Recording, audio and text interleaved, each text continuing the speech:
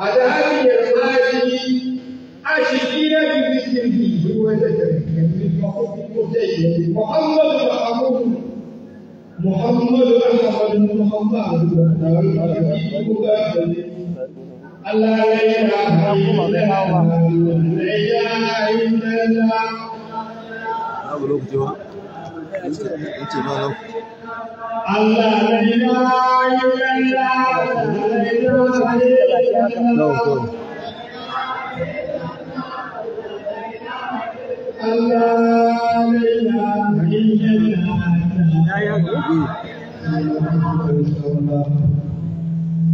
أعوذ بالله من الشيطان الرجيم.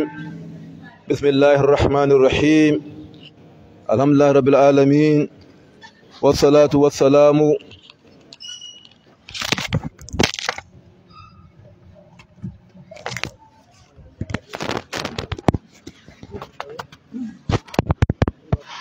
Allah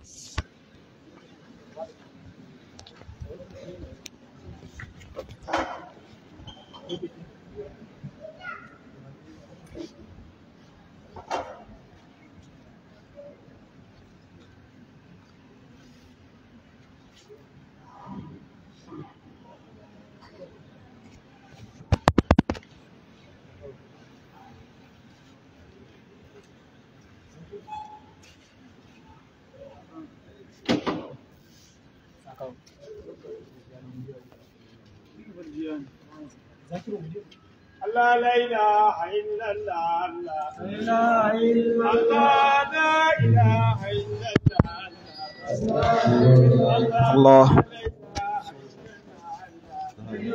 إلا الله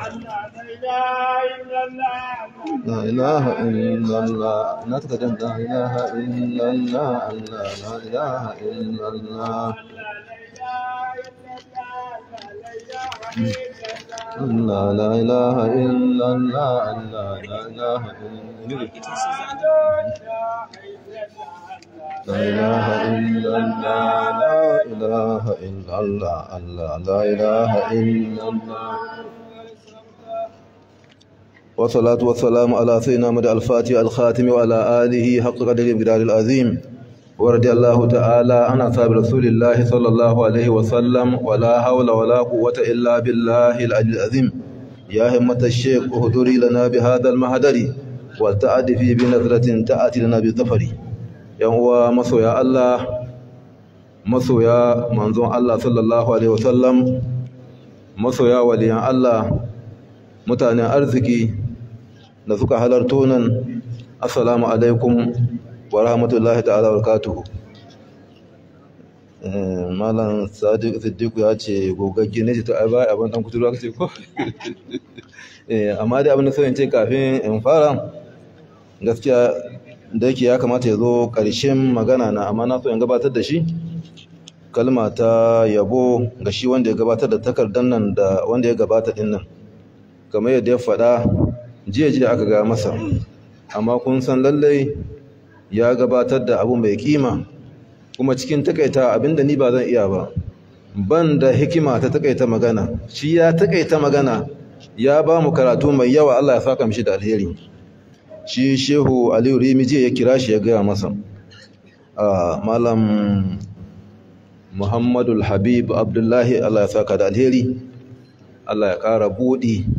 Allah ya kara muna irinku albarkan manzan sallama tijani haka ta gada. murin da aka ban yi magana a kai na yi shi ne al-maulidun nabawi al-sharif wa atharuhu fi mine ne? wa tasiru fi na shari mahabbatin nabi sallallahu alaihi wasallam wa da'atihi eh? na'am to kenan maudu'i ma'abuci abin nan yana da gaba biyu akwai magana kan shi maulidin akwai magana kan tasirinsa wajen yada soyayyen manzon Allah sallallahu alaihi wasallam da kuma ƙarfafa yi ma annabi sanin biyayya. Game da maulidi dai dama abin da aka sani maulidi shine haduwar da yan uwa musulmi masoya manzon Allah sallallahu alaihi wasallam suke daren sha biyu ga watan rabiul awwal. Ran da aka haifi manzon sallam inda za a haɗu a nuna farin ciki da haihuwan manzon Allah sallallahu wasallam. Saboda nuna farin cikin nan abu ne babba wanda Qur'ani yayi horo da shi hadisai suka yi horo da shi ga abin da bai kai wannan ba balle shi wannan. Shi nuna farin ciki da da sha'ani manzon sallam ya amfani wanda a kafiri ko kafiri ma babba. Wanda a cikin wannan al'umma shi kadai ne ma alkur'ani ya kama sunanai. Shine abu lahab. Duk al'umman na akwai kafirai. Akwai yanzu walid ibn mugira kullum ba'd zalika zanin. An kana zabalin wa banin. Idza tula alayhi qala alqur'ani yayi magana kai ne da yawa. Amma ba kama sunane ba. Aka ce ya zo ake mamatai ya ce iya ubangiji muhammad yayi magana. Duk abin da ya faɗi na yadda ban ci abu guda ke ɗaya ka ba da ansa ya ce ɗan banza ne.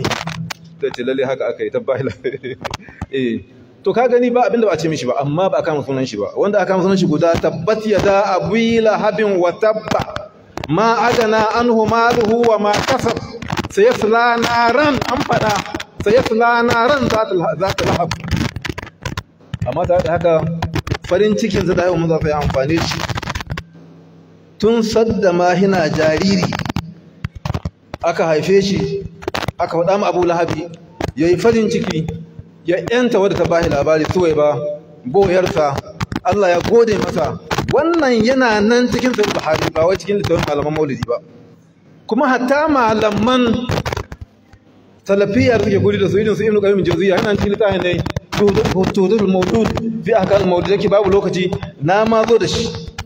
Inda yake cewa Allah ya yi Abu Lahab godiya ya saka mai akan wannan farin ciki. Aka rinka shayar da shi ruwa kowace litinin da wani rame ko wani wata kusuwa akan yatsansa. Ana yi mishi sauƙin azaba ko litinin yana samun ruwa yana sha. Yake dai wannan kaman dan shigowa ne wani ba amma da muhimmanci dai.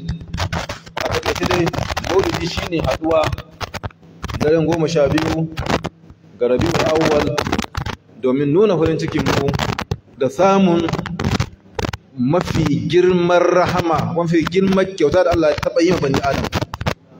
In aka haɗu a yi karatun ƙur'ani a karanta yabo da manzara sassallar wanda yake sunna ne duk da yake wasu na musun haka amma sunna ne. Kila ban sani kwajin habibu ne na taɓa ba su wani assignment. A ai sokoto ne wannan. Kai ku al'ummu ne ko? A sokoto ne. Sannan ana rigiman cewa ba a yaban manzon sallan bid'a ne. Ishiriniya banna ce alburda banna ce. Na shigo aji ni ba da assignment za mu yi karatu kan Hassan bin Sabit na san rigima za ta taso. Mu yi magana kan Umrul Qais wanda ya maganganun banza ya faɗi da kyau a wurin matan mutane. Mutamauti ilaha ba da ma'ana ma ayyal ahliha. Tumu habul maliko halan ala hali. Naka fadihi wa halabtu ha billahi halbata fajir lanamu na zo wurinta ba mutane sun kwana ta tatan jin don kai sani kunya mutane ce ai da wallahi da sun kwana halabtu ha billahi halbata fajir ko din ki rantsuwa rantsuwa ƙarya ce take mata rantsuwa mara gaskiya rantsuwa fajiri mutum bara hadda yake cewa buƙatar tabbiya wa asbahat ma'shuqan ni waye gari cikin jin daɗi da bege wa asbaha ba'aluha mijinta yau waye gari ashirin mai miji ce. Alaihi qutam qur'ana bisa gare shi. Eh sai albali wal hali mai mugun ya zuciya mai bacin rai saboda an ce an kwana da mata ce. To duk an ga bai isa a yi raddi ba na san mai da mun fara magana kan yabon manzon Allah san to tashin kiyama ya taho. Saboda haka zai nace a ta rubuto mini kan Hassan bin Sabit kuma a rubuto daga littafin hadisi. Ba ni son sharhi in ba na imamun nawawi akan sahih muslim. Aka rubuto aka zo da shi. Ku yi haƙuri na ce ba kai ta ba. Na ce to aka ru aka zo da shi. Wanda ya rubuta wani mai sanda ta sunna mai sa wandon kane ne kullun tare da shi. Ina daga zanda. Ne ce kowa ya karanta abin da rubuta. Sai yawon ya faɗa abin da ya rubuta. Ya faɗa ne rubuta ga allo. Cana kana sanu sabit yamdahu rasul yanshiru shira fi madar sallallahu wasallam fi masjidin sallallahu ala minbar nabi wasallam a masallacin manzo akan minbari yana waƙa ne ba manzo wasallam. Dan na gance to kai Allah ga hulta malam ina ka samu cewa Hassanu kina karanta yana karanta waƙa waƙa fa ta yabo akan minbarin manzo sallallahu wasallam ya ce ni malam cikin musulmi gani to ashe ya halatta. To suka faɗa ka. Ya halatta a jana manzo sallallahu alaihi wasallam. Eh. To nan da yake mun ɗauko bari mu kai ƙarshe nace musu ashe halatta karanta 20 ne ko? Da alburda. Sai suka yi tsaye akwai wani garin su duka shi daki takwas ba. Sai min tsaye cewa ba a karantawa. Nace don mi ya ce saboda bai 20 ne ya banna me ya banna kai? Wa khayyarahu faktar an kana abdahu. Ya bahi zabi ya zabi ya zama bawansa. Kina inda ya zabi Allah ya bauta masa sai Allah ya bauta masa nace a sha kai banna nace dama fannar da muke samu da gare ku shine rashin komawa ga malamai. Su malamai su za su yi mana sharhin su za su ba mu fassaran aya su za su ba mu fassaran hadisi. Ai maganan da mai shi ake yi ai yana fassara hadisi ne. Khayyarani rabbi bayna an akuna nabiyyan abd malikan ko? Aw an kuma abd. Aw kuma qala sallam ubangiji ya bani zabi ko in zama annabi basara ke ko annabi talaka ba wai ba wanda aka yi zo a sayar ba. Ni ko ni zabi an zama annabi talaka shine yake ni fa kayyarahu fa katara an kana abdahu. Ba da kai da ka ɗauka ba. To ala kullin dai wannan dai shine shi maulidi a hadu ne ayi magana kan manzon Allah wasallam a karanta alqur'ani a rera waƙoƙi na yabo nai akwai wani wanda ma rubuta littafi yanzu aka littafi yana yawo tun da daɗiya har yanzu a jaye shi ba cewa haramun ne wannan yabon da ake manzo sallam saboda haka mai ishiriniya mai arba da sanar duk sun yi banna ya manta cewa da Hassan bin Thabit da da da hijai zambo ya manzo sallam yawa. Ya tara sahabbai ne.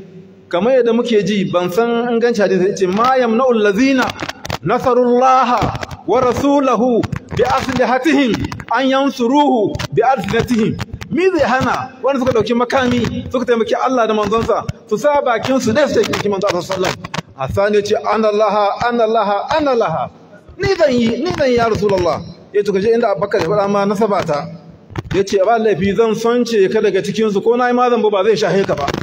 Hassan ya zo ya yi waɗannan baitoci suna nan cikin sahih muslim ba ma cikin sharhi ba. Ga kaba ka bin abi ka ka bin zuhair. To da mana magana mu kan janibi guda. Ala kullum shi da maulidi wasu malamai suna ganin tun lokacin manzon Allah sallallahu alaihi wa sallam aka fara maulidi. Yana azumi ko ce litinin. An tambaye shi me yasa ke azumin litinin? Yace ai ranar da aka haife ni kenan. To kenan saboda an ran litinin shi yasa ake azumin litinin.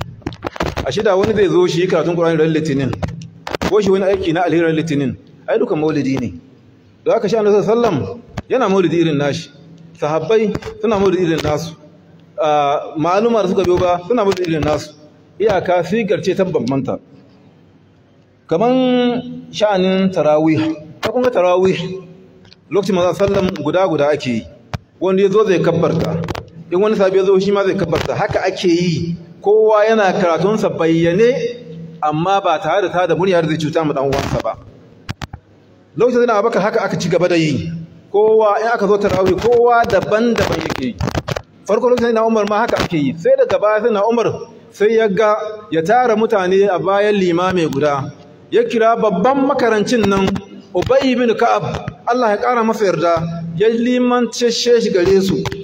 Bayan sun fara shikenan sai shi kuma sai ya tafi aka ci gaba. Daga nan tarawih ya komo kaman yanda ake yin kaman yanda muke yanzu ɗin nan. Maimakon guda guda dama masallaci ake amma guda guda. Yanzu an dawo masallaci ana yi amma da jam'i liman da mamunin abu ya ci gaba lokacin sai na Umar bin Abdul Aziz wanda wasu suna kallo nai a matsayin khulafa yana cikin khulafa ar-rashidin shi da Hassan bin Ali bin Abi Talib. Eh sun zama su ci kenan ko maimakon huɗu. Shi Hassan dai bakin lokacin da manzo ya faɗa saboda cikin mu'jizar manzo sallam ya faɗi komi na wannan al'umma. Balkai tun farkon duniya har duniya tashi. Huzaifa ya ce annabi sallallahu ba abin da bai faɗa muna ba. Duk wani mutum wanda zai jagoranci fitina wanda mabiya ne suka kai su 300 ya faɗa muna suna ne da sunan uba ne da sunan kabila tai kinan su shukadu an faɗe su. Yace ban sani ba mutane na ko sun manta ne ko sun ja mantuwa.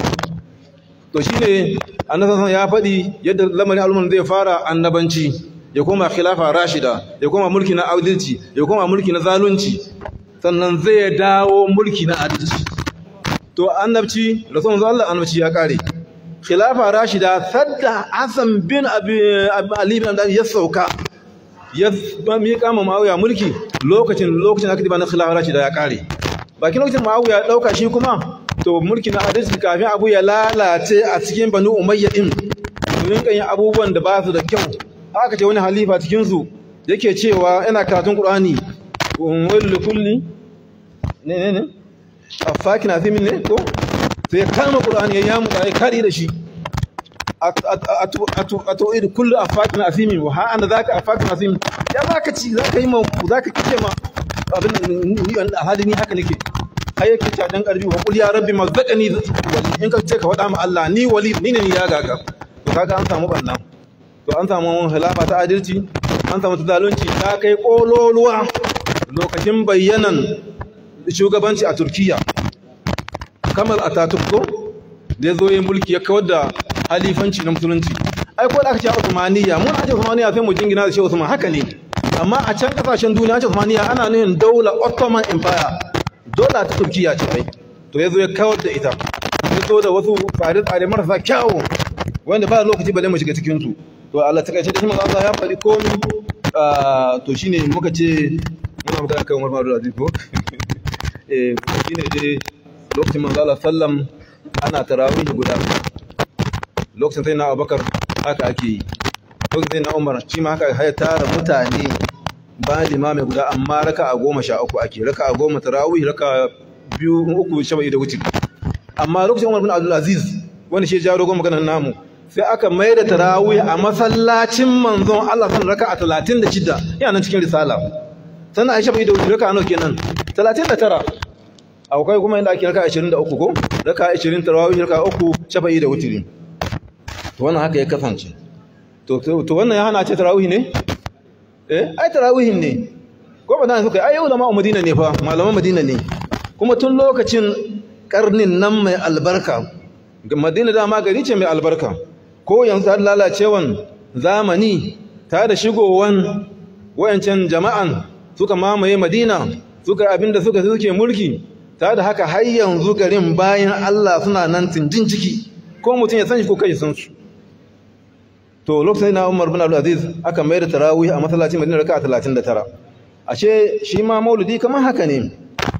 Can da wuri bisa ga wancan zancen ana ana yin azumi ran litinin ko dai wasu abubuwa.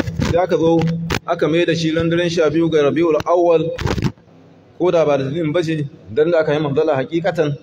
Sannan kuma ana yin taro a yi abinci a yi liyafofi a yi karatun ƙur'ani a yi yabon manzala sallallahu a yi tarihi da sallallahu alaihi wasallama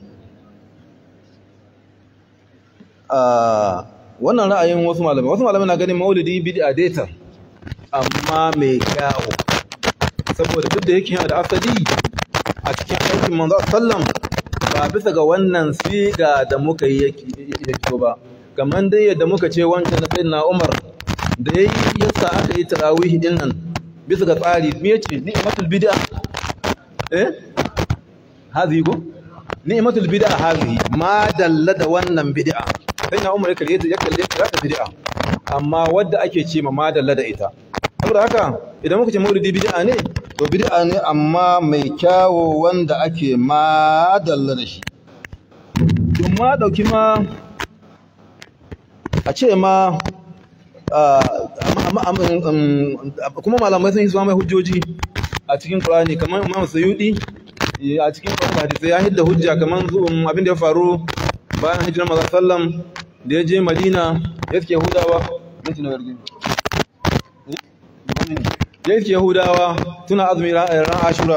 Ya ce me yasa suna azumi ran ashura? Ce shine ranar da Allah ya kuta da annabi Musa alaihi salam ya halaka fir'auna. Yace amma hin su cincinta sai aka kama azumin ran ashura. Shi idan Allah ya muku wani abu mai muhimmanci idan ranar ta dawo ya dace kuma ku yi wani abu na ibada don nuna godiya ga Allah. Da wannan ne shi imam ya hidda hujja na maulidi. Ibn hajar al-asqalani ɗaya daga cikin manyan manyan malaman alma shi ma ya fitar. To zan ce ibrahim Allah ya masa yadda. Ya fitar ƙarƙashin aya wa kullan wa kullan naqussu alayka min anba'ir rusul ma nuzil ba'dak. Ala kullin a ce ma duk babu wannan. Duk abin da hadisi bai zai nasi bai zo da haramcin sa ba ai halal ne. Ko mai halaccin ta ne ko mai asalin ta ne? Halat. Kamar wata rana ina cikin masallaci a makka wani ya ganin tasbaha yake tambaya na me nake da wannan? To yana lazimi. Da ni gama sai ni aji. To sai ni aji nace masa kai maganar tasbaha ya ce eh. Nace masa a taƙaice ne cikin da Allah sai ya bace sun sha. Nace don me? Yace don sannan ba haramta ba. To ka gani ashe ko da babu wani hujja maulidi dai wato muna da hujjan yi ne saboda babu wani nasi da haramta shi.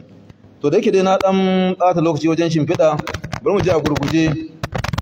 Muna maulidi ne saboda dalilai masu amma mafiya mafi girma daga cikin su fada da sanin mu ga manzon Allah sallallahu alaihi wasallam saboda Allah ya dora muna sanin manzon Allah sallallahu alaihi wasallam cewa da yawan malamai sun rubutu akan al-usulu salasa ma hiya al-usul salasa hatta a wurin malaman wahabiyya za su ce al-usul salasa hiya ma'rifatul abd rabbahu wa nabiyahu wa dinahu Allahu ar-rasul al-islam. Ito kenan wajibi ne. Akwai wani malami da aka ce ma ibnu faris ya rubuta wani littafi. Zan dan karanta. Yace hada zikru ma yahiqu alal mar'i muslimi hibdahu wannan hibzi wannan shine ambaton abin da ya zama dole akan kowane musulmi ya kiyaye shi. Wato wajib ala diddini ma'rifatu kuma ya sanin sa ya zama wajibi akan duk ma'abuci addini. Shine nasman manzo sallam da haihuwarsa da tashinsa da aiko shi da zikri wa zikri ahwalihi magazi ambaton halayensa a cikin yaƙe-yaƙensa sanin sunayen ɗiyansa da gwaggwannensa da matansa. Fa inna lil arifi bi zalika rutubatun ta'alu a rutubat ala rutubat man jahilahu wanda san wannan yana da wata daraja sama ga wanda bai sani ba. Ashe mu da muke halartar maulidi muna jin tarihin manzon Allah sallallahu alaihi wasallam. Muna da daraja cikin halara ta manzon sallam fiye da wanda baya halarta kuma bai san haka ba. Musamman ma akwai wasu abubuwan da suke mafiya sai wurin maulidi ake ambaton su.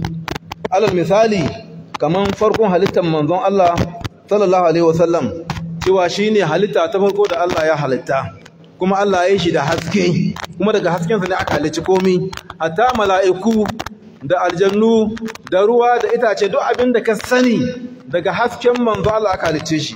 A wani arifi yake cewa yana magana da harshen manzon Allah sallallahu alaihi wasallam. Babu lokaci mai sharhi wannan amma dai yana cewa wa inni wa in kuntum na adama suratan wa li fihi ma'anan shahidun bi ubuwati kuma kai na dan adamu ni ba dan adamu nake ba uba ne nake. Wato yana magana ne arifi ne. Magana abin yana magana da harshe na manzon Allah sallallahu alaihi wasallam. Kenan adamu daga manzon Allah ya fito. Eh duk da yake hukuncin Allah ya gudana a mai da wannan hasken cikin annabi adamu a hayyi annabi sallallahu alaihi wasallam a karrama Adamu da wannan. Amma asalin abin to Adamu shi kai ne daga hasken annabi sallallahu aka yi shi. A ce mu masu halartar maulidi alhamdulillah muna da wannan martaba muna da wannan rutuba wannan matsayi. Saboda sanin mu da manzon Allah sallallahu ya sha gaban waɗanda su ba su halartar maulidin. Ko dai muna halartar maulidi ko kuma mu muke shirye maulidi ko muna karanta littattafai irin wanda aka irin su abin nan wannan littafin na shehu me yake suna na maulidi? Eh? Eh ifadatul ifadatul eh? Fa alfaidul ahmadi ahmadi ko? Akwai na shehu suka suka raju menene? Eh? Na shehu suka raju. Oh kamalul farah wa surur. Kamalul farah to irin wannan littafan idan mutum ya karanta su ko da zai je yi maulidi ne ko kuma ya karanta ne ko kuma ya halarci maulidi zai ji irin wayannan bayanai da irin abubuwan da suka faru lokacin haihuwar manzon Allah sallallahu alaihi wasallam. Wanda kowa ya sani da abubuwa kamar yanzu alal misali mutum ya shigo nan gari ya ga an sa an yi decorating gari ko ina zai ce gari na ya haka a ce ai shugaban kasa zai shigo. Ce hawa na san haka kama to da manzo zai shigo duniya sai da Allah ya sa aka yi decorating duniya.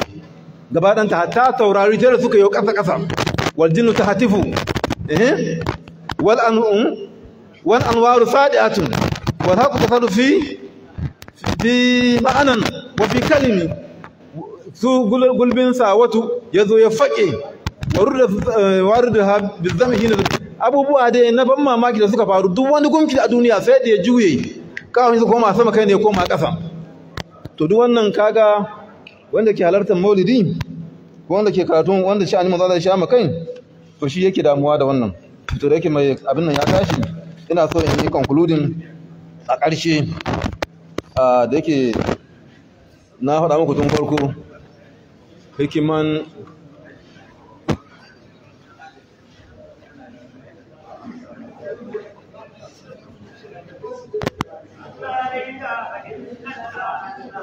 إله إلا الله. لا إله إلا الله لا إله إلا الله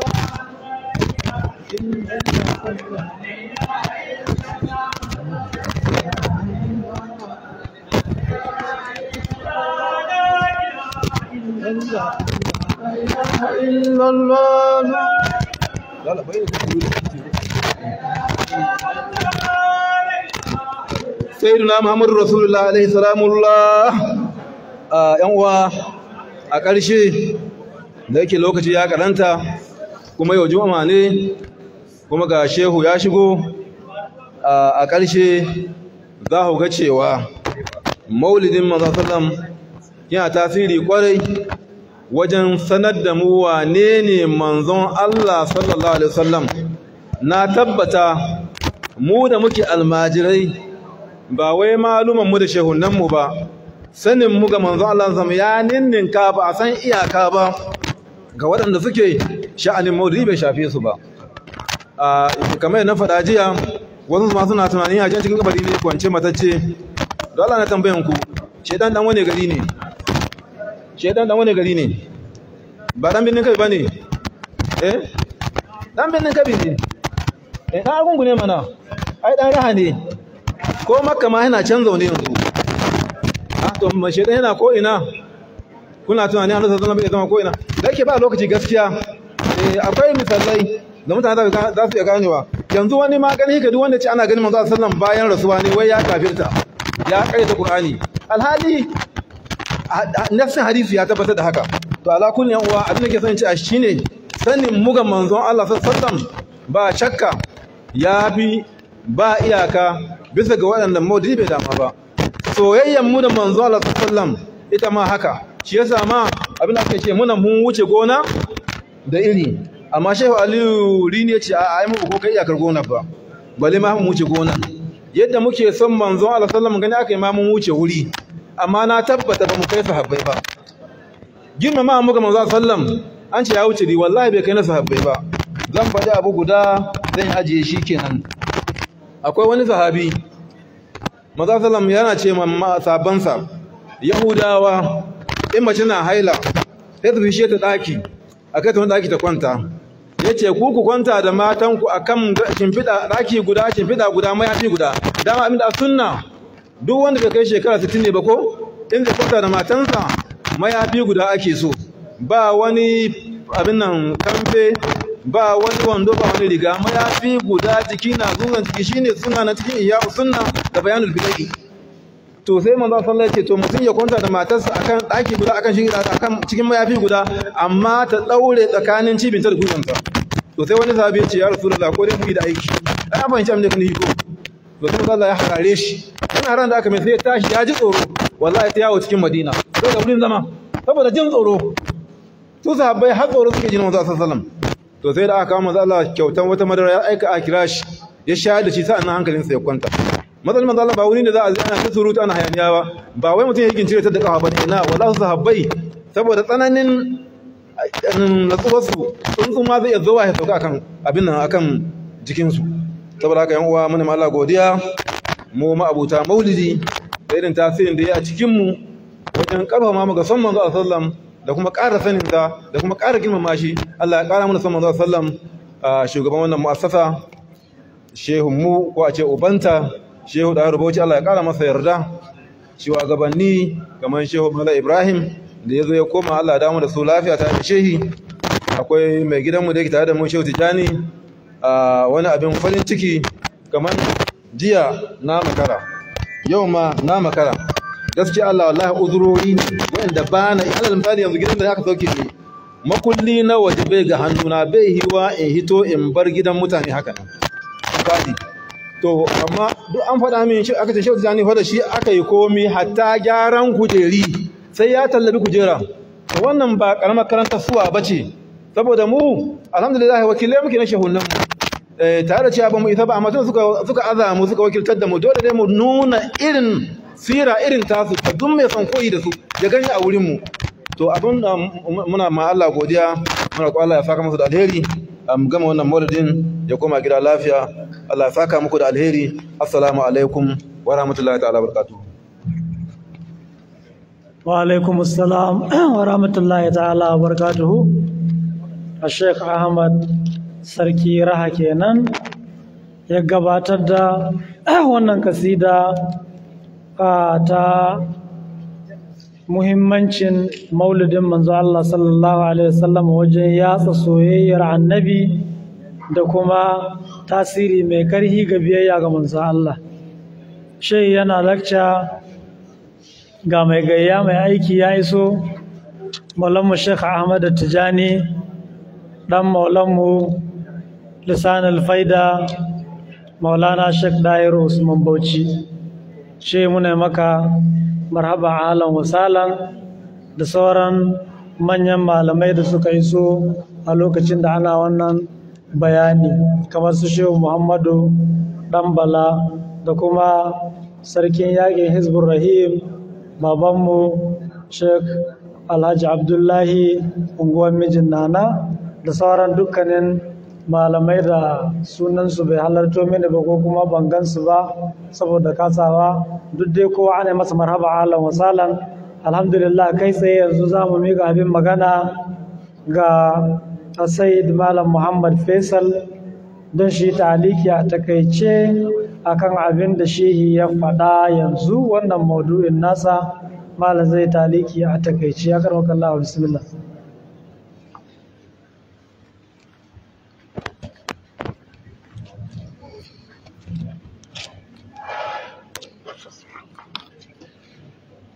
أعوذ بالله من الشيطان الرجيم بسم الله الرحمن الرحيم الحمد لله وكفى والصلاة والسلام على نبي المصطفى وعلى آله الطيبين الطاهرين وأصحابه السادة المجاهدين وبعد السلام عليكم ورحمة الله وبركاته آه حقيقة الأمر an azami abin da gaskiya ban cincinta ba kare da karau malam ya yi magana malami na na da shekara kusan talatin ba san abin da zan ce cikin wanga bayani ba.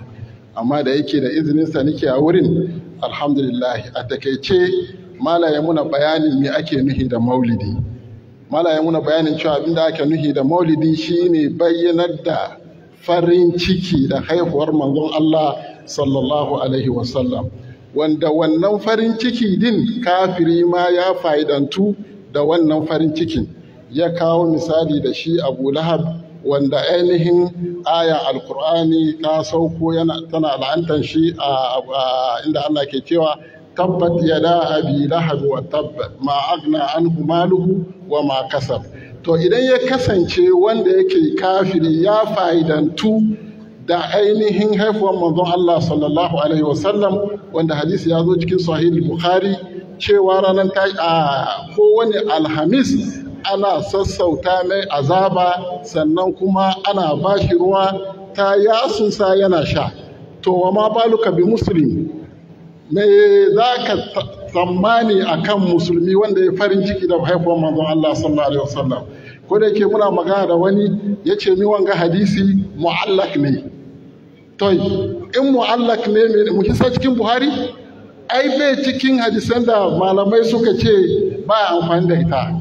To alatihad ba wajen abin gaba ne ba. Sannan kuma malaye muna bayanin cewa wato malamai sun yi maganganu a kan maulidi. Masu ganin cewa wato bid'a ce hasana da masu ganin cewa kaza kaza.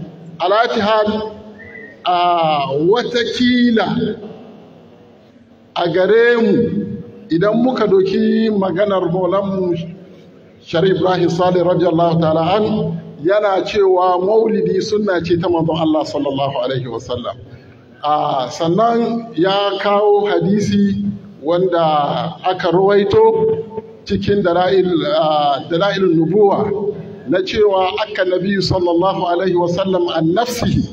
Manzo Allah sallallahu alaihi wasallam wata rana ya sa an yanka abin yanka dabba aka taru aka ci. Aka tambaye shi ya rasulullah ya haka ya ce a'a na yi haka ne kawai domin in gode ma Allah subhanahu wa ta'ala domin samuwana kaga wannan hujja ce karara na ainihin maulidin manzon Allah sallallahu alaihi wasallam.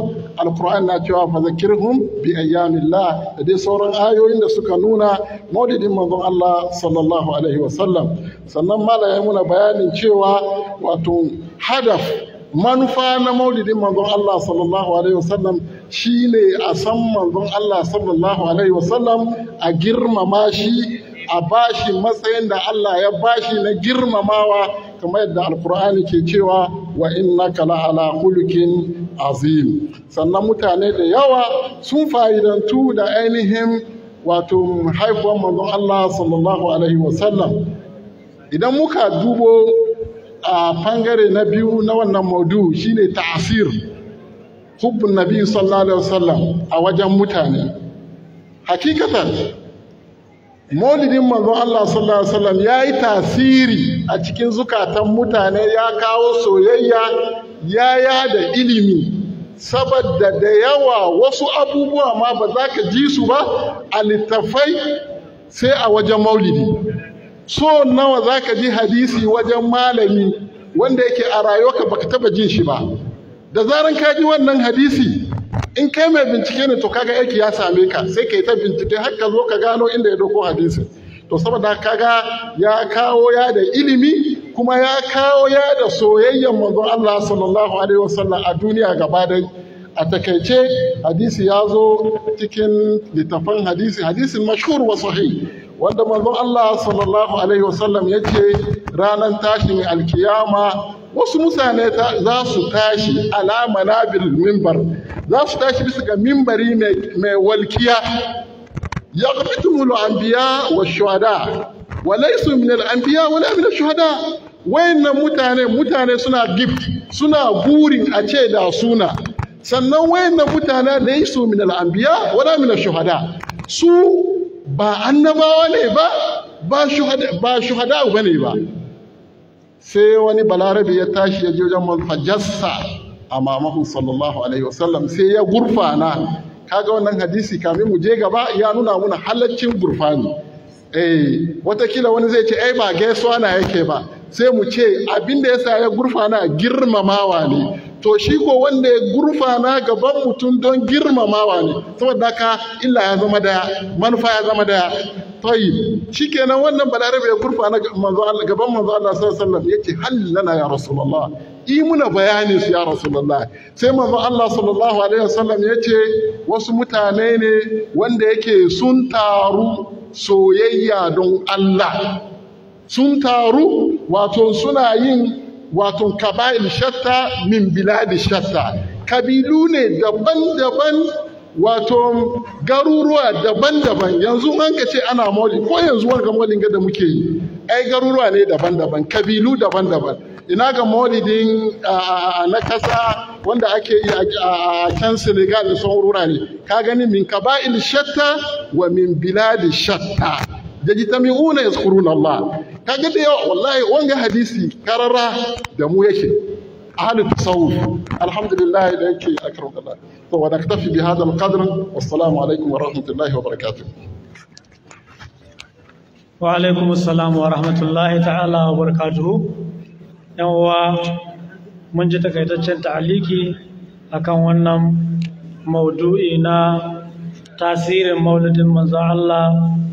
a cikin dasa soyayya da ƙauna a yawa musulmi. Alhamdulillah yanzu kuma sai ta halika akan abin da ya shafi lantar da ta gabata ta gudunmuwar malaman ɗarikar tijjaniya wajen yaɗa ilimi. Wanda zai wannan tariki shi ne imamu siddiq abubakar limanci. ka zo kai mana wannan taliki minti biyar ko shida bismillah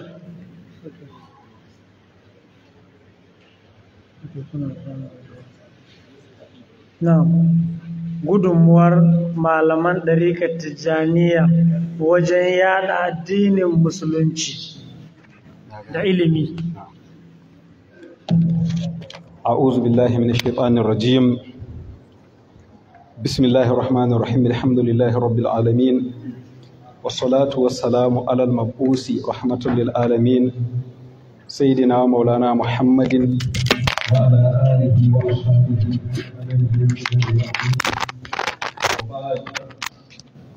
a madadin dukkan shekhinai wa ala ra'asihim sahibu sumuh ra'isul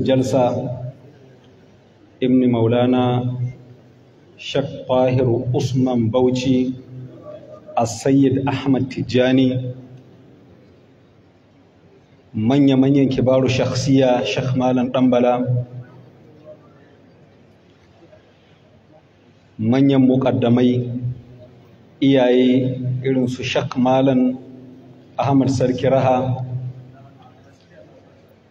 shak malam aminu wara da babban jigonmu a wannan garin shak malam ina cin kayo sharifi jikan manzon allah sidi haya ga manyan malumman da lokaci bai ba da dama mu yi ta ƙirga su cikin minti biyar mu ne ma kowa gaisuwa ta addinin musulunci. Assalamu alaikum wa rahmatullahi wa barakatuh. A malam siddiqu ya ce ai magana akan ishamat ko kuma dauri wanda malamai suka taka fintishar abin da ya shahi ilimi na addinin musulunci a cikin wannan ƙasa amma malaman kuma na gehen ɗariƙar tijjaniya. A nan wannan ta'aliƙin shi wanda ya ce ai da ya kalli kan shi da bai wannan ce ai wannan ta'aliƙin ba. A malam rabi'u sokoto Allah ya mishi rahama ba don ya rasu ba.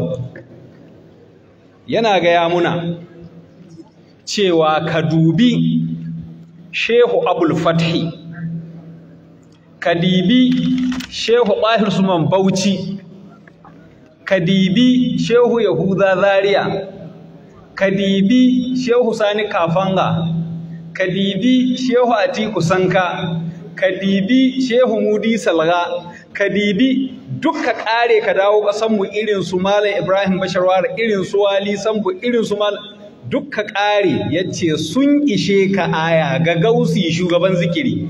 Wannan abin da zan faɗa ba daurin da suka taka ba. Malaman tijjaniya su ne ilimin addinin Najeriya su ne addinin Najeriya. Wala na ta'ala alallahi wannan min babin shukurun la fahara. Allah ya sani ba muna faɗa bisa ga girman kai ba muna faɗa ne bisa ga godiya. Duk wani mutum da zai ɗaga hannu da sunan addini idan ka ce mai waye malaminka in yan noci kai ya ɗaga sai ya ce malami na wane. Malamin nan wane ko da bai karanta wuridin tijjaniya za ka iske ga 'yan tijjaniya ya sha abin da ya kuri da shi yana raba mu mutane. Wannan ba magana dauri ake yi ba sai dai a yi magana intishari na abubuwan da suka yi. Ya ishe mu misali ka ɗauki littafinmu na fatahul jawad a ce ɗan ɗariƙa ya yi ta'aliƙin da aka yi wannan littafi ya ishe mu alfahari a najeriya banda sauran ulum da aka koyar da babban abin da ya yi daɗi. Ba karatun addini ne gaya ba karatun addini wasila ne. Abin da muke da buƙata gaya shine ɗabi'u. Ɗabi'u. Shi kuma malamai na gaya muna wai asir ma shahida bihi? A aba jiya ina jin wani bawan Allah daga cikin wa'yancan mutanen yana faɗan irin mutunci da karamci da malamai ko almajirai haƙin agajin tijjaniya suke da shi. Ya ce ana taron maulidi na ƙasa irin cikan da aka yi abuja ta cikatattun batsa ya biyo da mota da gangan da gangan. Ya ce da can wani ɗan agaji ya cinke shi. Haka ya ƙoƙarin haɗa hannu da ‘yan uwan shi ana ware mutane har sai da aka fitar da shi da mota shi duk rinci duk rukukin da ake fama da shi saliman ganiman. Ya zo yana gaya wa mutane shi miza da mutunci da girman da Allah ya ba in tijaniya ya ‘yan uwana ‘yan tijaniya wannan sunan da in aka kira wani da shi sai ya noce kai ya kamata mu ɗaga hancin mu sama. Yau duk da mai bautar dodon salanga Najeriya yana da ranar da ya ware don yin alfaharin dodon salanga ka bauta ma. To mu sani mu yan tijjaniya mu muke da stam akwai wasu mutane idan ka ce musu ɗan kaza da sunan ƙungiyarsu suna faɗa da kai. An canza suna ya kai so goma. Yana nuna ma ƙarya ne. Tun ana cewa ta'awun haka kuma ana cewa ikhwan haka kuma ana cewa umma haka kuma ana cewa mai sunan zaira aka komo ana cewa ahli sunna aka komo ana cewa salafiya. Duk sunan da ka kira in ka kiri na farkon nan da an ka in ka cire shi sunan shi dan ya tabbata a zazilu. Da ka ce dan idan yana cewa ba shi a sunana ba ashe akwai wata ciki. Don haka mu yan dariƙa muke kabirin an kabirin ba mu da alfaharin da ya wuce wannan kuma ya ishe mu alfahari duk ulumu hatta yanzu nan akan makallahu in dai ana son a same su bi dukka an san inda za a tafi. Kuma irin yadda malamanmu suka yi wajen intisharin da'awa haka manzon Allah yayi manzon Allah gidan shi ne makaranta gidan shi ne masallaci gidan shi ne wurin sulhun aure gidan shi ne wajen neman alfarma gidan shi ne wajen in wani ya matsu yana son a ruha mishi asiri ya zo ya faɗi sirrin shi akwai waɗanda malamai ne a addini iddi'aiyan in ka shigo gari kana mu'amala da su sai dai ku haɗu hilin idi babu mai kai ka gidan shi. Bai kai ka gidan shi ku haɗu hilin idi inda an ka haɗu a rabo nan don kar ka zama mai larura. Gobe ka ɗauko akan wakallawa assalamu alaikum wa rahmatullahi wa alaikum assalam wa rahmatullahi ta'ala wa barakatuhu. Imam yayi ta'aliki shafi Allah ya saka da alkhairi. Alhamdulillah mun dai ji saboda wanda suka shigo daidai wannan lokaci. Karance-karancen da an kai gaba ɗaya yau na farko shine abin da malam ya yi taliki a kansa gudunmuwar malamanmu tijjanawa a wajen yada ilimi da kuma addinin musulunci. In mun duba a nan garin nan na birnin kebbi wanda duk suka yada ilimi na addini sufaye ne tijjanawa. Kowace zawaya kake kowace makaranta hake dole kaka ce kai almajirin sheik wali ne ko kuma almajirin sheik ibrahimu ko malam bandi dukkan su mukaddamai ne na ɗarikar tijaniya kowa ka gani inda ba almajirin su ba ne kana isko komi bai sani ba. Sana ya ishe ka a duniya ka bayan sahabban manzo Allah daular da sun kafa ta musulunci ba wani mutum ɗaya ba wani mutum ɗaya wanda ba sufi ba ne ya kafa daula ta addinin musulunci. Duka tarihin duniya har yau. Tun daular nan ta usmaniya sufi ne shehu umar futi sufi ne can farko shi abdulkadir jelani sufi ne a nan ma libya umar muktar sufi ne yana biyar dariƙa ne ta kama ahmadu rufai. Ta saboda haka sufaye su ne suke riƙe da tuta ta addinin musulunci. Abu na biyu lakcar da aka yi ta muhimmancin ko kuma tasirin wani tasiri maulidi ya yi wajen dasa son manzan Allah ga musulmi. Babban tasiri na farko ya nuna wa mutane son annabi wanda wajibi ne. Annabi sallallahu alaihi wasallama ya ce mutum bai zama mai imani sai ya so ne fiye da yadda yake son rayuwarsa. Aya Qur'ani ta sifanta abubuwa guda takwas da mutum yake iya mutuwa saboda su. A kulin kana aba'ukum wa abna'ukum wa ikwanukum wa azwajukum wa ashiratukum wa amwalun iktaraftumuha wa tijaratun taksawna kasadaha wa masakin tardawnaha ahabba ilaykum min Allah wa rasulihi fatarabbasu. Wannan abubuwa uwaye yaya yan uwa mata dangi dukiya fatauci wurin zama. Kowanne an yi yaƙi an kashe juna saboda shi. To maulidi ya nuna maka duk annabi ya fi ma wannan. Saboda haka ya yi tasiri ba ƙarami ba. Sannan daga cikin tasirin maulidi ya koya wa mutane ɗabi'u nagari na manzo Allah. Mun ji cewa manzo Allah mai yafiya ne mai rangume ne mai haɗa kan al'umma ne maulidi ya koyar da wannan. Sannan kuma maulidi ya koyar da yadda za ka ciyar. Yanzu an ka fara yaban manzo Allah tun cikin tsananin nan sai ga mutane suna ɗibar kuɗi suna badawa ana watsi da kuɗi sai ka ci kamar takarda tare da babu saboda ana ambaton masoyi sallallahu alaihi wasallam. Maulidi ya koya mana wannan. Shi yasa shehu mashi ibrahim yaka cewa a riki son manzo Allah sallallahu alaihi wasallam shine maganin komi. Kafaitu sahabi fi dariqi ana wa kulluhum bil jazbi nala munaa wa lam yakul lil aqda bi qabliyan mislama lizal abd min faidin yaruku sanaa. Wa ashkuru rabbi laysa sirri akiran fa asgaru adba'i wa nila fanaa wa zalika min hubbir rasul wa sirrihi. Bisa dilahul amda hussulewa shi ibrahim ya faɗi cewa duk abin nan da kake gani son manzon Allah ya kawo shi kuma a wajen maulidi mutane aka koya. Daga ƙarshe za ka ga an haɗu wajen maulidi a haskaka wuri don a tuna ma mutane wanda ake ambatan nan mai haske ne.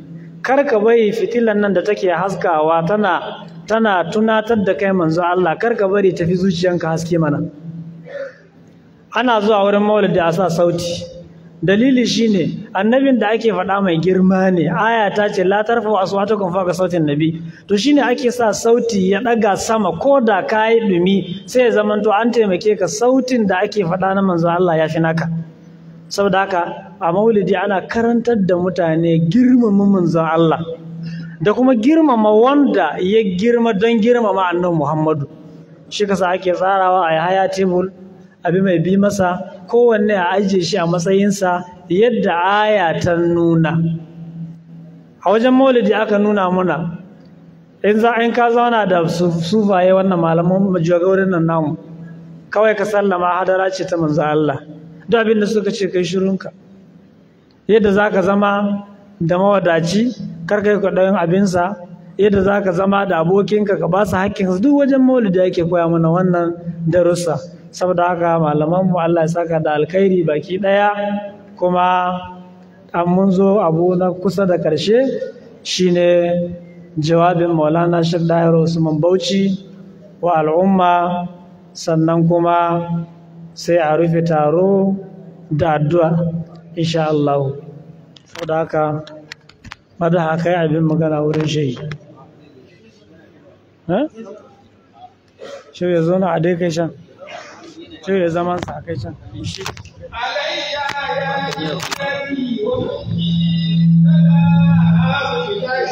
ku can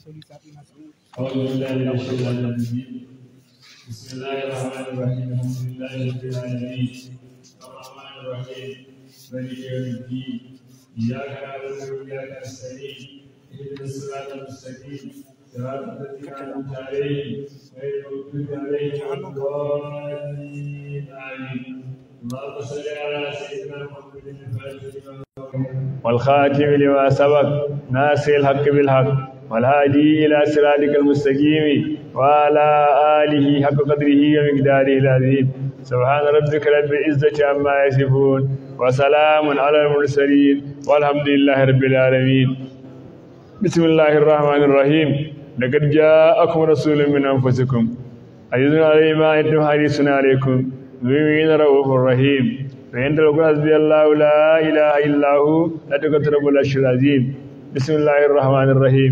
ألا إن أولياء الله لا خوف عليهم ولا هم يحزنون الذين آمنوا وكانوا يتقون صدق الله العظيم السلام عليكم من يمتعي سكينا kowa da kowa da sunansa da mukaminsa da matsayinsa wajen Allah da sauran wani albajiri gaba da kowa da kowa assalamu alaikum wa rahmatullahi ta'ala wa barakatuhu a lokaci ya riga sarewa juma'a ne karfe ɗaya ta wuce saboda haka yanzu abin da ya yi ƙoƙari a samu yi addu'a don a ji a fara shirin zuwa juma'a.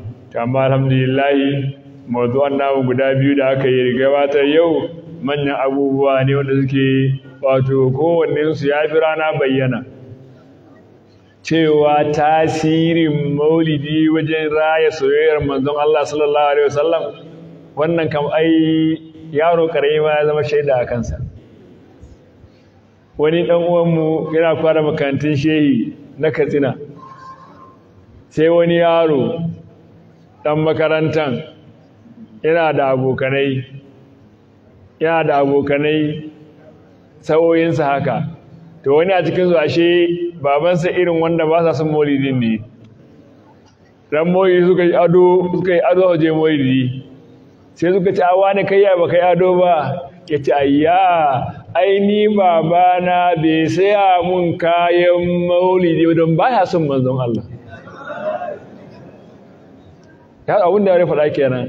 Ai ni babana bai mun ɗinkin maulidi ba don ba ya son manzon Allah sallallahu kawai sai kunnin baban Allah ya sana darbo sai yau da sai wallahi wallahi ni masoyin manzon Allah ne. Yaro mu je kasuwa sai yayin da ka zaba zan dinka maka. Ashe wannan cewa tasiri murin soyayyen manzon Allah sallallahu alaihi wannan abu ne wanda yake a fili kowa ya shaida. Haka kuma maganar musahamar malaman tijjaniya wajen yada ilimi yadda mai taliki ya faɗa ne. Ai kamar su ne ilmin ma. Malaman tijjaniya ai ba maganar ilmin ilmi mai zurfi ba. Duk wanda ya iya karatun ƙur'ani a ƙasar nan to insha Allah in dai zaka tambaye shi malaminsa dole sai ya kamo batijani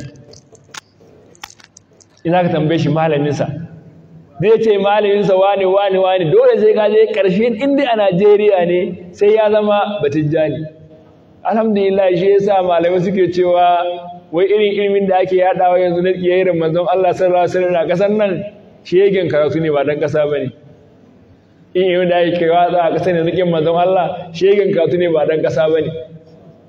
Ba dan ƙasa ba ne. Mu ƙasanmu nan ƙasan masoya manzon Allah ne.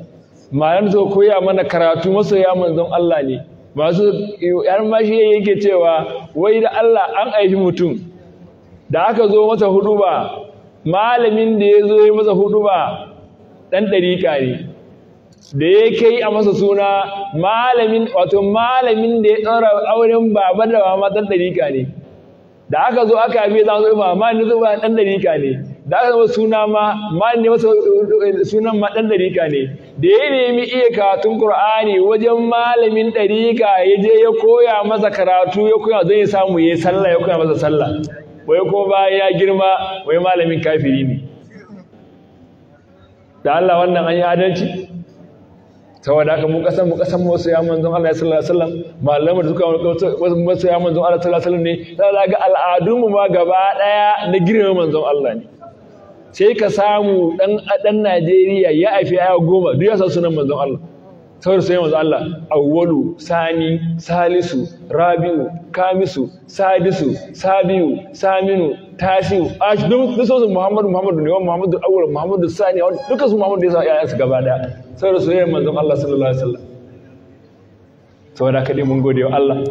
Allah ya saka shi mu da alheri. Allah ya saka malamu da alheri. Kuma duk tun yanzu gaba da wannan muhazara suka yi taliki Allah ya saka mu da alheri. Sun motsa abubuwan zukatan manzon mutane na soyayyar manzon Allah sallallahu alaihi wasallam da irin ƙoƙarin da malaman mu dago suka yi aka nuna mana Allah ya saka kowa da alheri. Allah ya saka kowa da alheri. A mun gode mun gode mun gode mun gode. Allah kuma ya sa mu yi amfani da abin da muka ji. Wai ana kanta tarihin da suka wuce don ayi koyi. In ga yana kan tarihin da suka yi wuce don ana gaya mai kai don ka samu ka yi koyi. Don malamai suna cewa afwan malamai suna cewa gwagwaron son ka da abu da tsoronsa gwagwaron sanin ka da shi. Gwagwaron son ka da abu da tsoronsa gwagwaron sanin ka da shi. Yadda ka san shi haka za ka so shi. Yadda ka san shi haka za ka ji tsoronsa. Wai shi ibrahim abdullahi wanda yake nuna wannan yake ba da wata hikaya. Wayansu yara sun bata shi yake mai da hikayar. Yara wai sun bata sun shiga jeji. Iyaye suka wata neman su ba a gansu ba. Ashe yara su sun samu zaki da zakanya. Su ba san me zaki ba. Ba san me zaki suna ta wasa suna ta wasa jikin zaki. Zakanya ta ce yanzu haka zaka bari wani suna wasa da kai? Yace ba su ba san ni ba ne zakanya ta ce wa zaki haka zaka bari suna wasa da kai? Yace ba su ba san ni ba ne suna sai sai da iyayen suka leko ga su da suka ji da cikin wanda suka sanni sun yafi yayan saboda zaki sun ga zaki. Gashe kenan kullum ana gaya mana tarihin nan ne don mu san su waye ne namu don mu yi koyi da halayen su mu bi irin hanyar su. Allah ya taimake mu Allah ya kiyaye mu Allah ya kiyaye mana. Mu dai mun gode wa Allah mun gode wa Allah. Jagorori fa an samu. Daman shehu na cewa sharadin jagora ya san hanya. Sharadi na biyu ya bi hanyar kar ya kauce hanyar. Sharadi na uku kar ya zauna. To hanga duk mun samu wannan. Kai ko mabiyi sharadin ka biyu ne. Karkara da ya kai ka zauna. Ka bi jagoran kan nan ka bi shi karkara da hanyar da yake bin nan ka bi shi akan hanyar. Sannan kar ka zauna ka bar shi ta bai barka. To wannan kai kuma shi ne sharadin kai mai bi. To wannan ne daga amma jagorin kan mun samu wanda suka san hanya kuma ba sa kauce hanya ko ba su zauna ba. Da aka zo mu za mu dage kai mu bi kar mu kauce hanyar zuwa kai kuma kar mu zauna. Allah ya kiyaye mu Allah ya kiyaye mana. Allahumma salli ala sayyidina Muhammadin al-Fatih wa alihi wa khatim wa sahbihi wa sallam. Alhamdulillah wa assalamu alaikum.